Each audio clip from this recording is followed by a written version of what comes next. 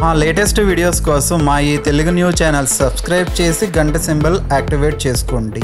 రేపు జ్యేష్ఠ పౌర్ణమి ఎంతో శక్తివంతమైన రోజు. అయితే ఈ రోజు ఏం చేసినా చేయకపోయినా స్నానం చేసేటప్పుడు ఈ ఒక్క మాటను మనసులో తలుచుకుంటే మీ ఒంట్లో ఉన్న దోషాలన్నీ తొలగిపోయి కోట్ల కట్టలు వచ్చి పడతాయని పండితులు చెప్తూ ఉన్నారు. మరి ఆ మాట ఏమిటో అసలు ఈరోజు ఎలా స్నానం చేయాలో ఇప్పుడు మనం ఈ వీడియోలో తెలుసుకుందాం.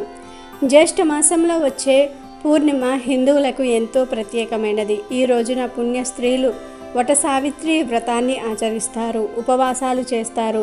వట వృక్షానికి అనగా మర్రి చెట్టుకు పూజలు చేస్తారు. ఈరోజు మర్రి చెట్టుకు దారం చుడుతూ పదకొండు ప్రదక్షిణలు చేసి ఏదైనా కోరిక కోరుకుంటే అది తప్పక నెరవేరుతుందని పెద్దలు చెప్తూ ఉంటారు.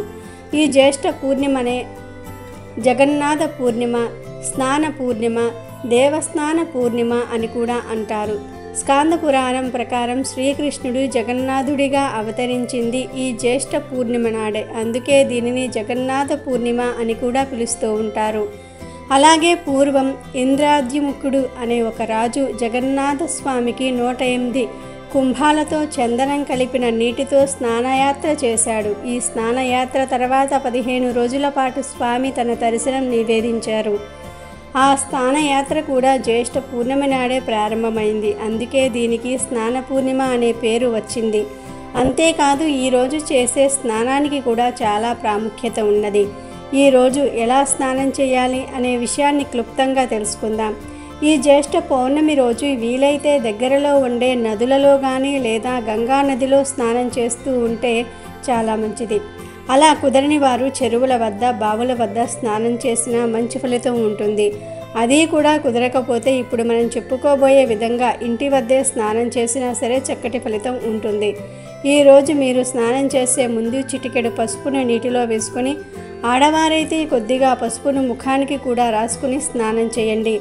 అలా స్నానం చేసేటప్పుడు మూడుసార్లు గంగా గంగా గంగా అని మనసులో అనుకోండి.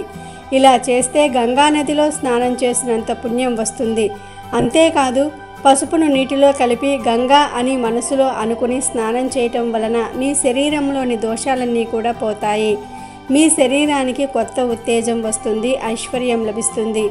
మీ ఇంట ధనవర్షం కురుస్తుంది. అలాగే ఈ పౌర్ణమి రోజు కుదిరిన వారు ఇంట్లో పరమేశ్వరుని కూడా ఆరాధిస్తే విశేషమైన ఫలితం కలుగుతుంది. మీకు ఎలాంటి సమస్యలు ఉన్నా సరే ఈ పౌర్ణమి రోజు ఒక మర్రి ఆకును తీసుకుని దాని మీద పసుపుతో స్వస్తి గుర్తు వేసి ఈ ఆకు మీద ప్రమిద ఉంచు నువ్వుల నూనె పోసి మూడు వత్తులు వేసి మర్రి చెట్టు కింద దీపం వెలిగిస్తే మీ సమస్యలన్నీ కూడా పటాపంచలైపోతాయి. మీకు ఎలాంటి ఆర్థికపరమైన సమస్యలు ఉన్నా సరే ఈ దీపాన్ని వెలిగించి చూడండి. తప్పకుండా ఆ సమస్యలు తొలగిపోతాయి. ఊహించిన ఐశ్వర్య ప్రాప్తి కలుగుతుంది. కనుక మీరు కూడా రేపు జ్యేష్ఠ పౌర్ణమి రోజు ఈ చిన్న చిన్న పరిహారాలను చేసుకొని శుభ ఫలితాలను పొందండి. వీడియో నచ్చితే లైక్ చేయండి షేర్ చేయండి. బట్ సబ్స్క్రైబ్ చేసుకోవడం మర్చిపోవద్దు.